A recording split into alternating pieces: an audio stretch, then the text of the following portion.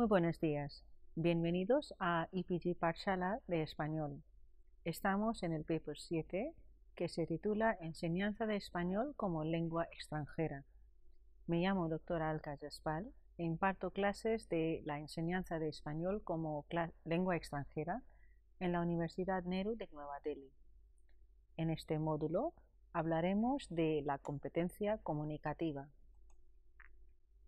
Según los estudios relacionados con la enseñanza de L, la habilidad de comunicar en la lengua siempre ha desempeñado un papel muy importante. Comunicarse efectivamente en un idioma y en un ámbito específico también es algo que se debe prestar atención el docente. Comunicación cotidiana no es lo mismo que la comunicación formal. En pocas palabras podemos decir que nos prepara para comportarse de manera eficaz y adecuada. En los estudios del funcionalismo lingüístico se considera competencia comunicativa a la capacidad de hacer bien el proceso de comunicación, usando los conectores adecuados para entender, elaborar e interpretar los diversos eventos comunicativos, teniendo en cuenta no solo su significado explícito o literal, lo que se dice, sino también las implicaciones, el sentido implícito o intencional, lo que el emisor quiere decir o lo que el destinatario quiere entender. La palabra se refiere a las reglas sociales, culturales y psicológicas que identifican el uso particular del idioma en un momento dado. La expresión fue creada para oponerla a la noción de competencia lingüística propia de la gramática generativa. Según el enfoque funcional, esta no basta para poder emitir un mensaje de forma adecuada. Como alumnos de L, deben utilizar la lengua apropiada a la situación y necesitan adaptarse a la situación. El Instituto Cervantes define la competencia comunicativa como la capacidad de una persona para comportarse de manera eficaz y adecuada en una determinada comunidad de habla.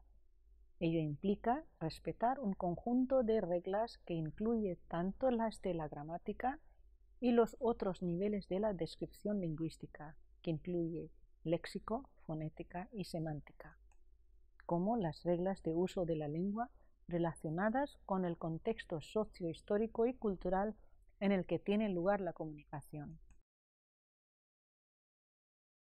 Del Hathaway Heinz, una lingüística, en sus palabras, dijo que la competencia comunicativa se relaciona con el saber, cuándo hablar, cuándo no, y de qué hablar, con quién, cuándo, dónde, en qué forma. Piensa que hay una conexión crítica entre el lenguaje y las formas de pensar. Es aconsejable enfatizar en lo que dice Delheinz, porque él mostró las diferentes formas lingüísticas como la antropología y que se estructuraba en lo poético. Él ayudó a identificar por primera vez la conexión entre el habla, las relaciones humanas y el entendimiento humano sobre el mundo. El competencia el concepto de competencia comunicativa, acuñado por Himes en el año 1972, surge como oposición al concepto de competencia de Chomsky y la gramática generativa. Para Himes, la competencia lingüística, que es conocimiento de las reglas gramaticales, no es suficiente para comunicarse en una lengua. Al hablar de la competencia comunicativa, Himes se refiere a los conocimientos gramaticales las reglas de uso de tales conocimientos en los diferentes contextos y la habilidad para usar dichos conocimientos. El marco común europeo de referencia para las lenguas, aprendizaje, enseñanza, evaluación, a este marco común en adelante vamos a referirnos como el MECER. Este en su página 11 explica los dos objetivos en los que se ha pensado elaborar el documento. A continuación recogemos el primero de ellos y la serie de preguntas que el MECER propone para la reflexión de los usuarios. Dice, fomentar en todas aquellas personas relacionadas profesionalmente con la lengua, así como en los alumnos, la reflexión sobre las siguientes preguntas. Primera, ¿qué hacemos realmente cuando hablamos unos con otros o cuando nos escribimos? O, ¿qué nos capacita para actuar de esta manera? O, ¿cuáles de estas capacidades tenemos que aprender cuando intentamos utilizar una lengua y el último, ¿por qué estudiar la competencia comunicativa? La competencia comunicativa corresponde a un cambio en el concepto de la lengua en el que se pasa de una visión de la lengua como sistema a una visión de la lengua como comunicación. Vamos a analizar la perspectiva de la lengua como un sistema.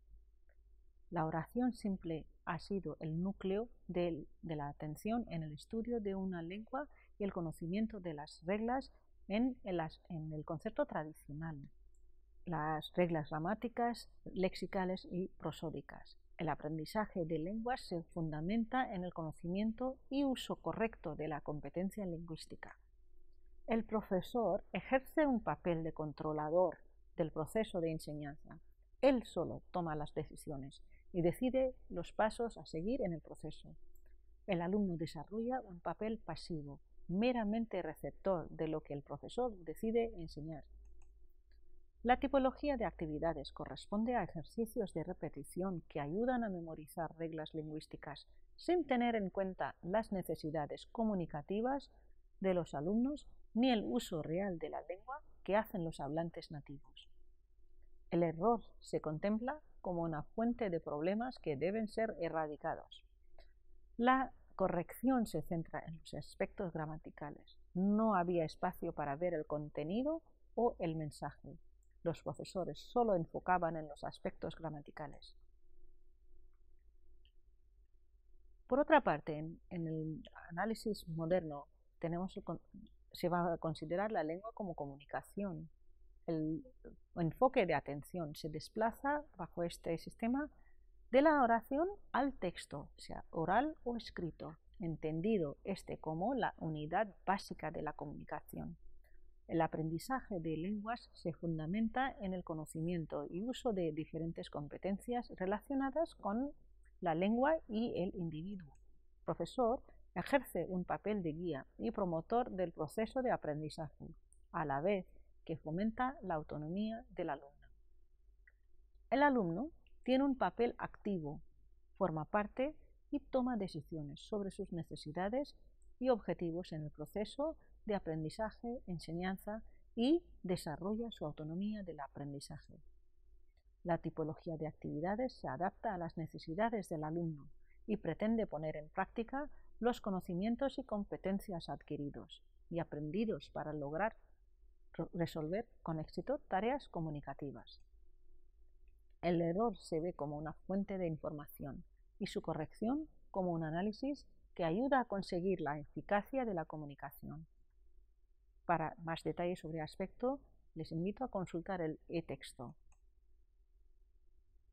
En el siguiente apartado, las competencias del usuario o alumno de MECER es recomendable para leer en el mismo, uh, misma obra publicada con el título de Marco Común que sigue así. Oye, he pensado que podrías dejarme la plata para la entrada de un coche. ¿Qué te parece? Aquí, en este caso, el término plata tiene un significado coloquial de dinero. Nuestro conocimiento lingüístico nos permite reconocer este enunciado como gramaticalmente correcto. Sin embargo, en nuestro conocimiento sociológico, el que nos impide utilizar esta forma, fórmula por considerarla incorrecta, inapropiada o poco efectiva para dirigirnos al director de un banco con el propósito de conseguir un crédito para comprar un coche. Claro está. En cambio, es probable que nos resultara apropiada en un contexto familiar de un hijo dirigiéndose a su padre. No queremos decir que sea la única forma, ni la más habitual, de pedir dinero a un padre o a otro familiar. Canale en Swain y más tarde Canale en su trabajo del año 1983, los dos críticos ampliaron este modelo de competencia comunicativa de Heinz en cuatro componentes. Según ellos, la competencia comunicativa es entendida como los sistemas subyacentes de conocimiento y habilidad requeridos para la comunicación. Por ejemplo, conocimiento del vocabulario y habilidad de usar las convenciones sociolingüísticas de una lengua dada. Además, además, se establecía una distinción entre la competencia comunicativa y lo que aquí hemos llamado la comunicación real, es decir, la realización de tales conocimientos y habilidades bajo limitaciones psicológicas y ambientales como restricciones perceptuales y de memoria, fatiga, nerviosismo, distracciones y ruido de fondo. Por otro lado, la competencia gramatical enfatiza en el conocimiento y el uso del léxico, las reglas gramaticales, la prosodía, entonación, puntuación, etc mientras que la competencia sociolingüística está relacionada con la capacidad de utilizar la lengua en los diferentes contextos y situaciones. Puede ser lenguaje no verbal, como lo de los gestos, silencios, pausas, etc. Más adelante, la competencia estratégica que presentan es la habilidad de un hablante para utilizar estrategias que le permitan solucionar léxicas o lingüísticas evitando así que la comunicación se interrumpa. Ahora vamos a mirar algunas estrategias que emplean los alumnos a la hora de comunicar en la nueva lengua. Por ejemplo, la primera eh, de las estratagemas que utilizan es la mímica. Por ejemplo, lleva, el estudiante señala con el dedo el labio superior para indicar bigote. O, por ejemplo, la invención. El estudiante recurre a una palabra que no existe pero que relaciona con la palabra que quiere nombrar. Por ejemplo, aguadora para las plantas, por decir la regadera. El circunloquio, por ejemplo, sopa de carne de pollo, en lugar de sopa de pollo. O la transliteración, traducción directa de su lengua materna o de una lengua puente. Por ejemplo, me gusta estudiar en la librería de la escuela, por no decir la biblioteca. O el paráfrasis de aproximación.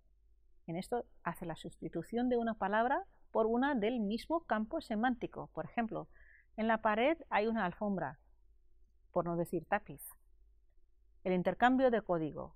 En esta utiliza la lengua materna o una lengua puente a la espera de que el interlocutor la conozca. Por ejemplo, ¿tienes un pen?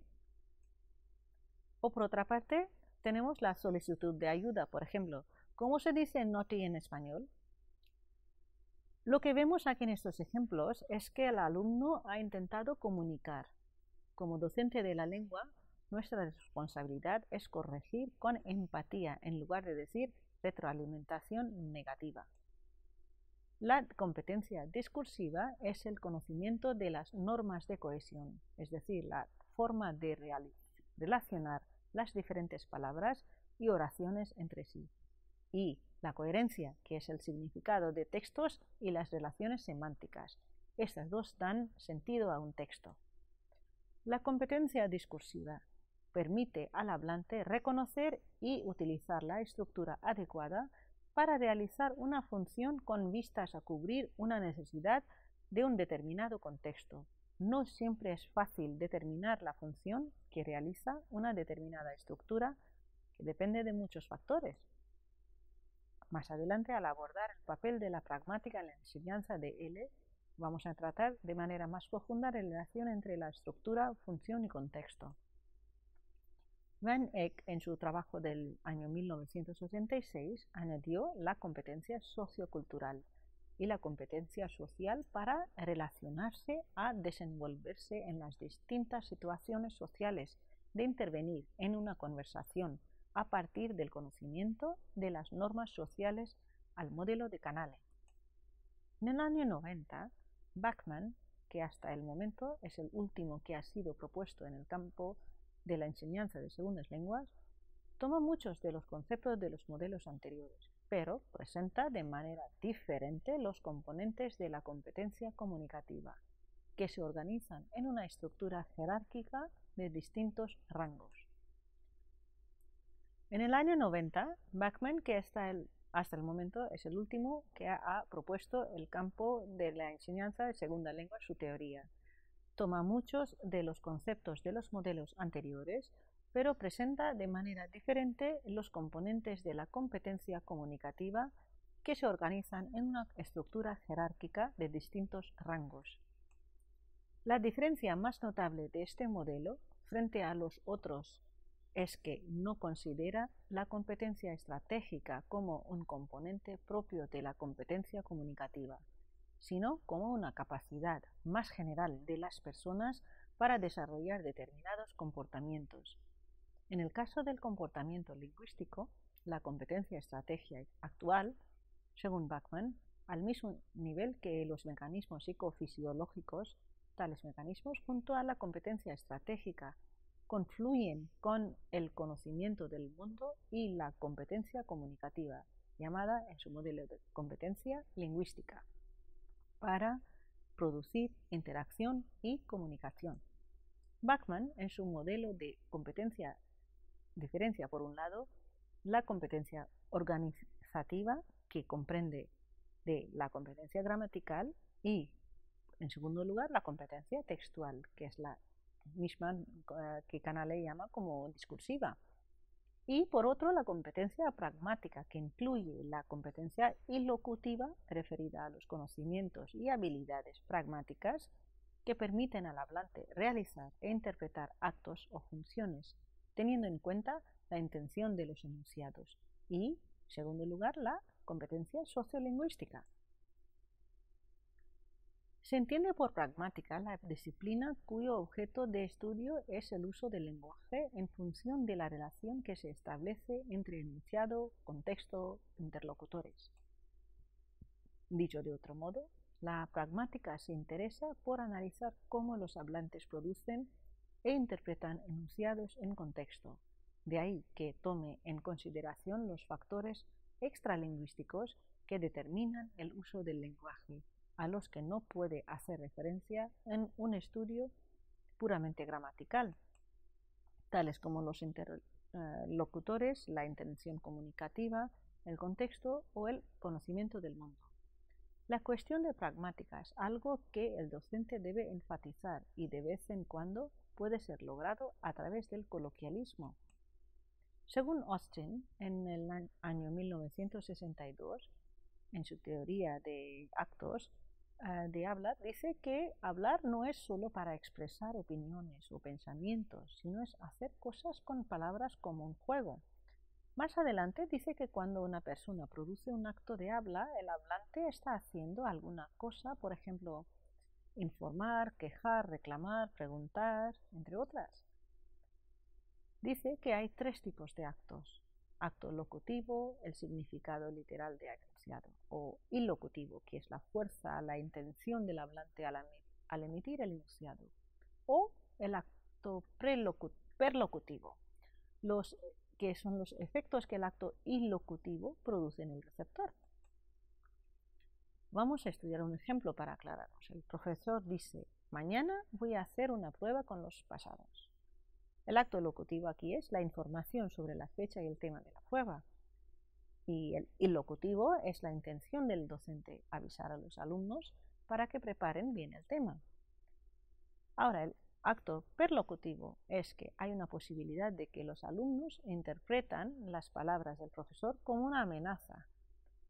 A veces, en un acto de habla, hay una posibilidad de que el mismo locutivo puede producir distintos ilocutivos por ejemplo, qué calor hace o en un ascensor para establecer para una conversación. O se puede decir también en la oficina con la ventana cerrada y ahí se pide un favor. Un acto ilocutivo puede ser realizado por diferentes actos locutivos, por ejemplo, pidiendo ayuda, ¿te importa, por ejemplo, arreglarme mi habitación? Y cuando el locutivo y el locutivo coinciden también. En esta estación de tren el pasajero pregunta ¿Cuánto cuesta el billete para el viaje de ida y vuelta entre Madrid y Salamanca con AVE? El profesor, así, tiene la obligación de ayudar a los alumnos a dominar todas sus competencias y de favorecer la autonomía necesaria para asegurarles el éxito de la comunicación en una situación real o contextualizada. El alumno, en cambio, tiene la responsabilidad de interactuar de una forma activa en esta adquisición de competencias comunicativas y generales en el aprendizaje de la nueva lengua. El profesor puede favorecer el desarrollo de las distintas competencias de los alumnos cuando posee una serie de conocimientos sobre el tema y una serie de habilidades y una serie de actitudes. El dominio de estos tres componentes es lo esencial para una actuación eficaz en el aula. El profesor, para garantizar el desarrollo de las competencias de los alumnos, debe gozar de unas habilidades y actitudes. Entre las primeras, cabe destacar las siguientes. Habilidades docentes, comunicativas, profesionales, interculturales y de desarrollo profesional. En cuanto a las actitudes, es importante mencionar la que debe presentar hacia los alumnos, hacia el centro donde él trabaje, la profesión y finalmente hacia sí mismo. Así pues, cuando hablamos del desarrollo de las distintas competencias, nos referimos, por un lado, a las competencias generales, que son conocimientos, destrezas y características individuales que permiten a una persona realizar acciones y por otro lado a las competencias comunicativas que posibilitan a una persona actuar actual, ah, utilizando específicamente unos medios lingüísticos, poniendo en práctica unas competencias lingüísticas que son de léxico, gramática, semántica, fonología y ortografía y las competencias sociolingüísticas, integradas por marcadores lingüísticos de relaciones sociales, normas de cortesía, expresiones de sabiduría popular, diferencias de registro, dialecto, acento, y por último las competencias pragmáticas, que son las discursivas, funcionales y organizativas. En referencia al texto, objeto de ejemplo, Destaca la falta de competencia lingüística, sociolingüística y pragmática, así como una ausencia de competencias generales. Ahora lo importante es saber qué hay que tener en cuenta en la selección y análisis de las diferentes muestras y actividades para trabajar en el aula. Debemos impartir el concepto de muestra considerando esta como cualquier material destinado a exponer al alumno ejemplos contextualizados para posibilitar el análisis y la formulación de hipótesis. Este material puede presentarse en forma de textos orales o escritos y debe ayudar a mejorar tanto las competencias orales como las escritas. Antes de escoger cualquier muestra, sin embargo, el profesor debe tener presente cuál es el perfil y el verdadero nivel de sus alumnos. No solo que les ha asignado la academia para la que trabaja y buscar material que se adapte a sus carencias y objetivos.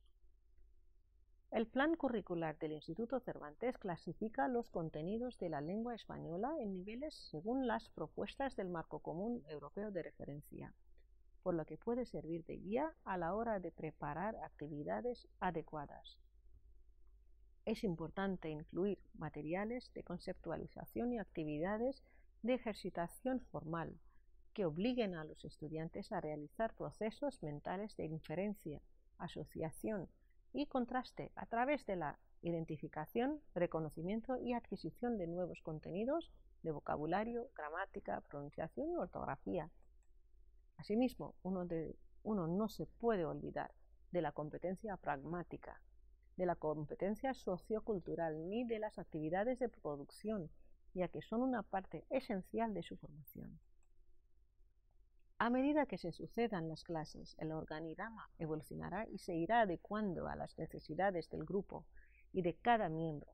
El profesor siempre puede tomarlos aparte y sugerirles una serie de ejercicios específicos para mejorar una dificultad particular.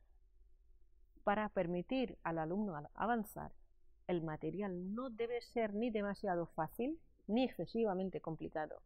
Cabe decir también que el contenido de dicho material o actividades debería evitar al máximo múltiples actos ilocutivos, ya que esto podría confundir a los estudiantes más de lo recomendable.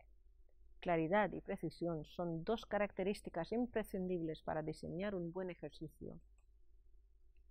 Por otra parte, aunque no se trata de un material que se utilice siempre en el aula, no se puede negar la trascendencia del diccionario, el cual acompaña a un estudiante de cualquier nivel a lo largo de su aprendizaje. A pesar de que la tendencia actual es recurrir a diccionarios gratuitos de Internet, los alumnos deben saber que existen diccionarios de español especialmente para ellos. El profesor debería conocer los puntos fuertes y defectos de cada uno de ellos para poder recomendarles más tarde como material complementario al libro de texto y al cuaderno de actividades.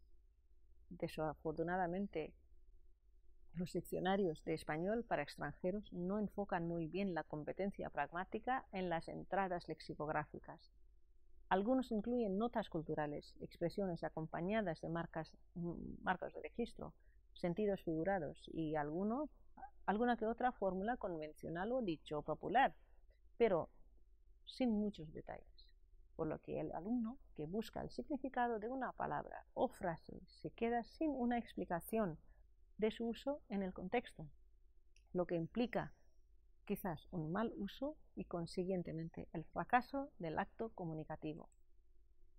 Como se ha comentado en este artículo, los diccionarios deberían basarse en el corpus conjunto de los manuales de español, los cuales, gracias a su enfoque funcional y por tareas, incluyen cada vez más expresiones y apuntes necesarios para favorecer el desarrollo de la competencia comunicativa en su totalidad. El diccionario es una herramienta útil, pero como cualquier otro material didáctico, hay que analizar el abanico de ofertas y seleccionar el más adecuado. Ahora, también hay que saber qué hay que tener en cuenta en las interacciones profesor-alumno o alumno-alumno que surgen en el aula. El profesor es un psicólogo que no solo necesita leer la mente del alumno, sino también captar el nivel de los alumnos y el ritmo de la clase. Un buen conocimiento de Mecer ayudará al profesor a tener control de la situación. Desarrollar un acuerdo entre la clase también ayuda a crear un mejor ambiente para el aprendizaje. En la interacción entre Jaime su profesor podemos ver que el alumno no está muy cómodo con la lección que está aprendiendo, tampoco el profesor con sus instrucciones. La comunicación entre el profesor y alumno que representa la confianza es uno de los secretos para tener éxito. En el intercambio comunicativo producido en el aula tienen que existir una serie de características de aprendizaje y socioculturales determinadas, con unas expectativas y unos objetivos, pero también existen unas particularidades en esa interacción que consisten en un horario, un espacio determinado, así como un acuerdo táctico de que se comparte y se acepta la intención didáctica de la interacción, asumiendo en este caso que la interacción se refiere al proceso bilateral de comunicación Existe pues una influencia mutua.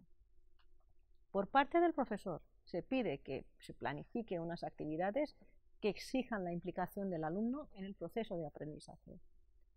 El profesor también es un pedagogo, además de un experto de español, por lo que debe tener en cuenta el aspecto intercultural de una clase de lengua extranjera.